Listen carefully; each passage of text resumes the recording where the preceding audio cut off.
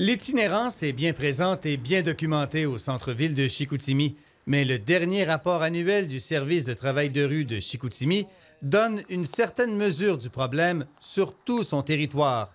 1700 interventions de plus uniquement sur l'itinérance au cours des 12 derniers mois. C'est sûr que nous, ça ne nous surprend pas. On a vu l'augmentation là, quand même surgir de mois en mois.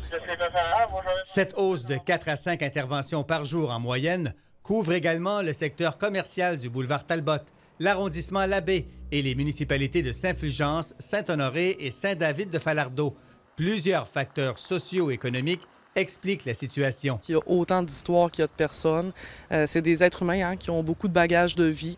C'est sûr que le contexte socio-économique actuel, le manque de loyer, euh, l'augmentation des coûts de loyer, c'est vraiment une réalité qui nous aide pas présentement. Le service de travail de rue a aussi déployé plus d'effectifs sur le terrain ces derniers mois ce qui a automatiquement augmenté le nombre d'interventions. Avoir plus d'intervenants sur le terrain, ça donne beaucoup plus d'occasions de faire des interventions puis de continuer des choses qui sont parfois même à plus, long terme puis d'aller plus en profondeur dans certaines euh, réalités. Fait qu'on a des gens qui, sont, qui ont un toit sur la tête, mais qu'on est en prévention avec eux parce qu'on sait qu'ils sont à risque imminent de devenir en itinérance. Le service de travail de rue a embauché trois ressources supplémentaires au cours de la dernière année dont une spécialement dédiée au programme SAPORA de concert avec le service de police de Saguenay pour mieux encadrer les itinérants. Quand on parle, par exemple, des démantèlements au niveau euh, des, campements de fortune, on diminue le nombre de démantèlements, on va vers d'autres choses. On essaie d'accompagner les individus à aller vers des services. Autre particularité, le nombre d'interventions auprès des adolescents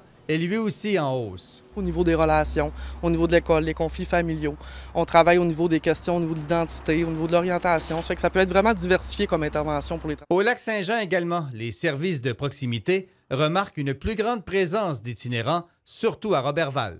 Qui est une ville de service. On a la détention régionale, l'hôpital général avec les services en psychiatrie. Il y en a peut-être un peu plus, mais est-ce que c'est parce qu'il y a plus de gens qui souffrent ou parce que les gens sont plus sensibilisés à la souffrance des autres pour lui donner un coup de main. Les deux centres aimeraient embaucher de la main-d'œuvre supplémentaire. Notre équipe, c'est sûr, est vouée à grandir, mais on parle de cette réalité-là, mais on parle aussi de toutes les réalités, en fait, que le travail de rue y touche. Mais on sait sûr qu'en ce moment, on est en petite pénurie de main-d'œuvre, il nous manque minimum deux postes.